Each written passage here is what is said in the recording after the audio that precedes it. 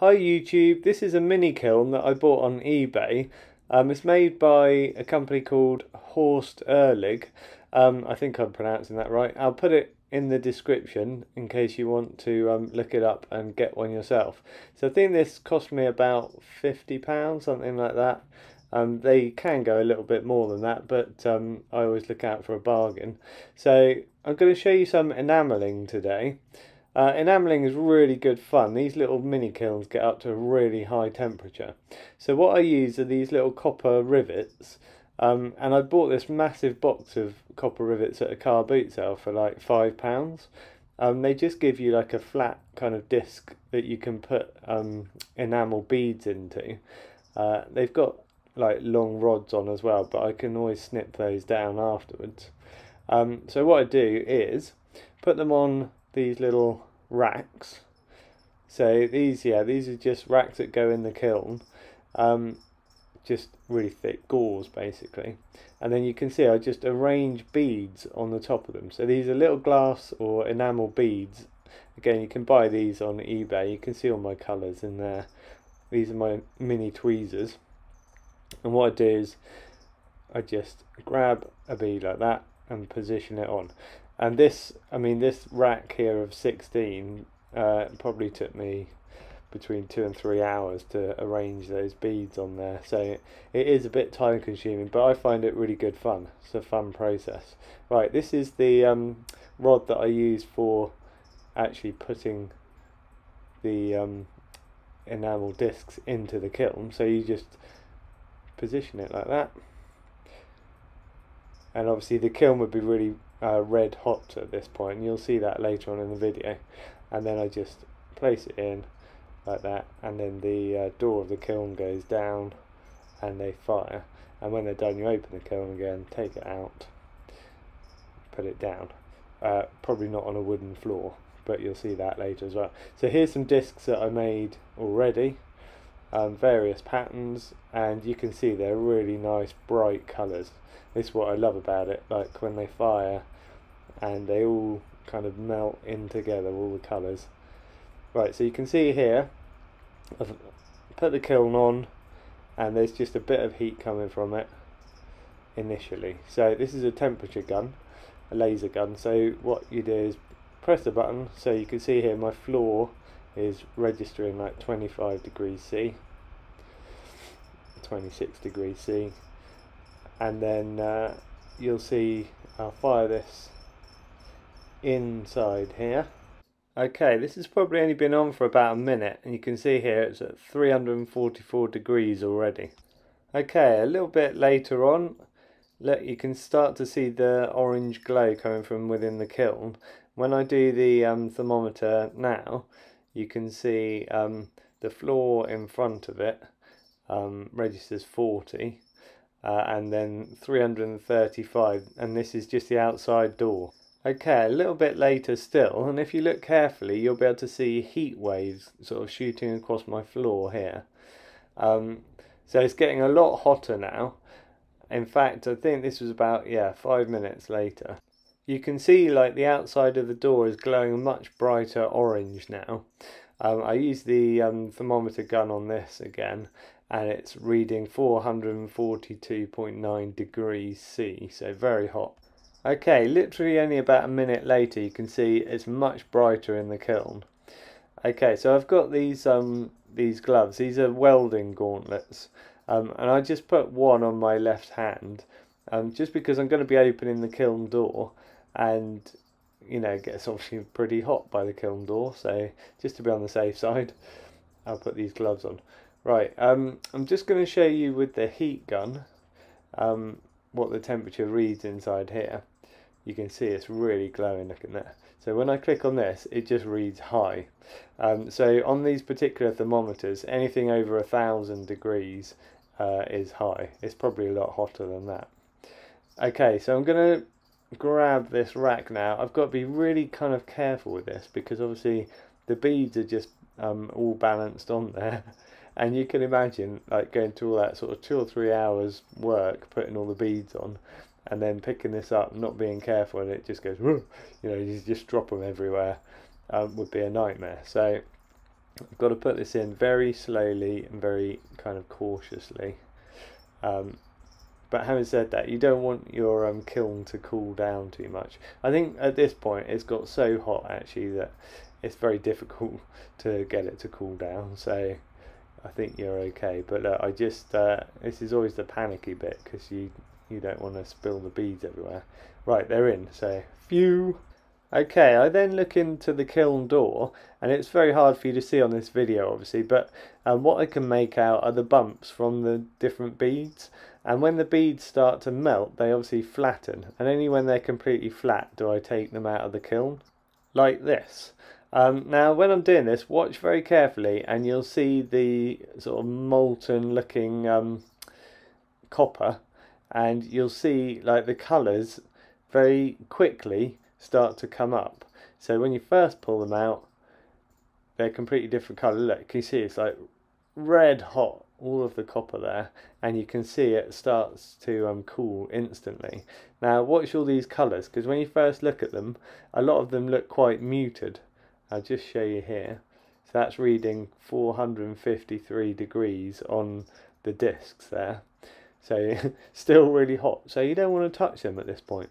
Um, and yeah you can see like the colors as you look at them over the next sort of minute or so um, as they cool all the colors brighten up. So things like you know the reds that look really still quite dark they start to come up much brighter. It's just really nice uh, it's one of my favorite bits of the process actually watching this happen. Um, just seeing all the bright colors coming through it's really cool. And also, you know, you never know what you're going to get because all of the beads obviously melt in together. And um, yeah, so quite often random things happen. You know roughly what you're going to get, but sometimes you get like happy accidents that happen where something comes through and it just looks lovely. So this is the first rack of 16 for this video. Um, I'm going to do another rack of 16 in a minute. Um, but you can see, look, I've left this all on like real time, so you can see everything brightening up. All those oranges and reds are starting to brighten now, and um, this is much more like what they're going to be like. Um, right, another thing that happens is at the back of the copper discs, um, where the copper is kind of uh, oxidized or something um, with the air, you get this kind of powdery grey layer on the back of the discs, and as they cool, um, you can't hear it because I've taken the sound off the video, but you get this kind of crackling noise as the um, the kind of grey layer kind of breaks off the back of the discs. Um, and it does make a little bit of a mess. It's kind of like sort of black ashy kind of material. Um, right, this is another rack kind of all laid up ready to go. This is how I do it. Just put them in with the little rods in there, line them all up uh, ready for new beads. Yeah, I'll show you what that grey ashy kind of stuff looks like on this next lot in a minute. But okay, so you can see I've laid out some beads again. I've just done kind of stripy ones and um, circular ones for this firing. So we'll bung these in and then uh, see what we get. Again, look, I've let it heat up to red hot again. Being very careful again. this bit is always really scary. I just know one day I am just gonna like the whole thing is just gonna flip off or something, and I'll have to start again. Those sort of two or three hours putting beads on. I mean, a lot of people would probably find those two or three hours quite tedious, but I find it quite relaxing, really. It's not something you want to do if you're not um, particularly happy with doing fiddly things, because it is pretty fiddly. Right, let's get these out. Again, watch watch as these cool. Whoa, look how red hot they are. You definitely wouldn't want to put them straight down onto a wooden floor. So again, look how dull they look when they first come out. A lot of the colours so kind of muted.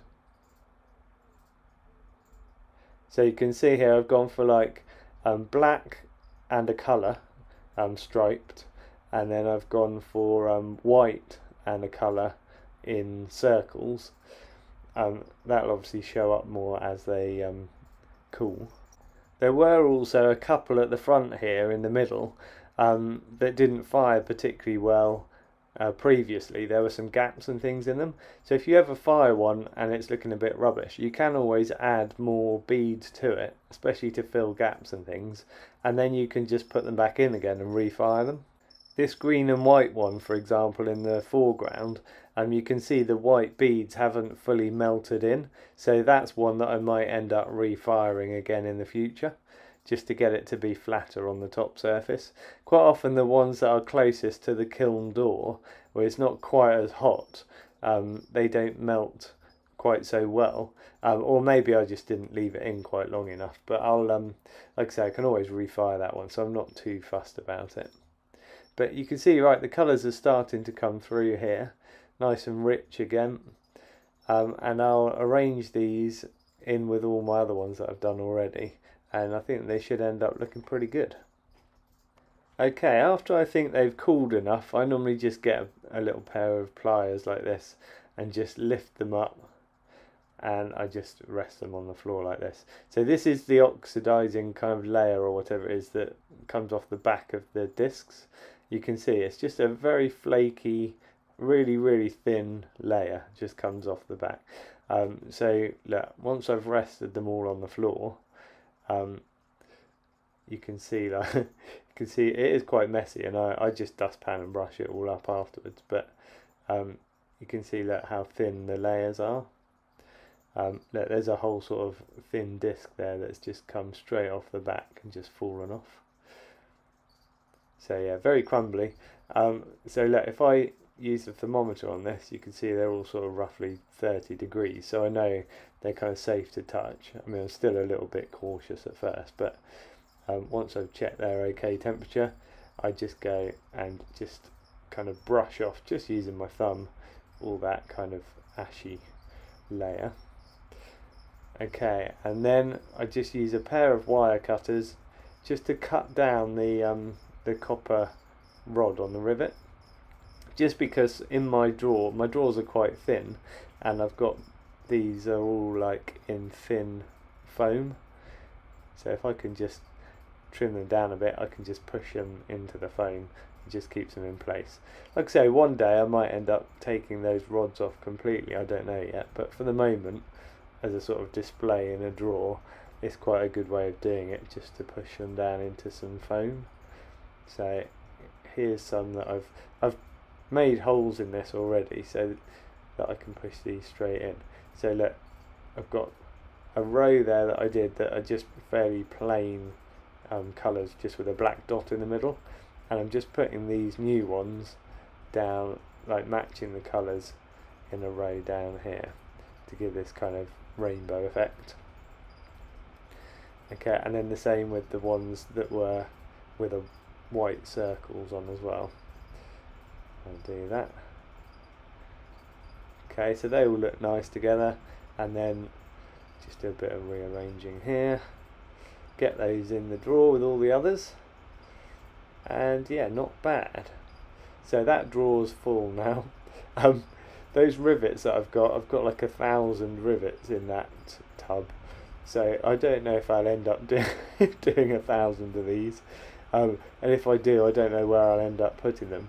But um, you can see I've obviously spent quite a few hours doing these already. If they take sort of two or three hours for every 16 that I've done, um, this yeah, you can see the amount of time. But I think it's worth it. They look amazing. You know, when you open the drawers, you're just hit with all this colour and pattern. Is it art? Who knows? Um, a lot of art is pattern making. Uh, I just love them anyway. So hit subscribe if you want to see more things like this in the future. Um, check out my videos of my portfolios and other artwork and sculptures. And thanks for watching.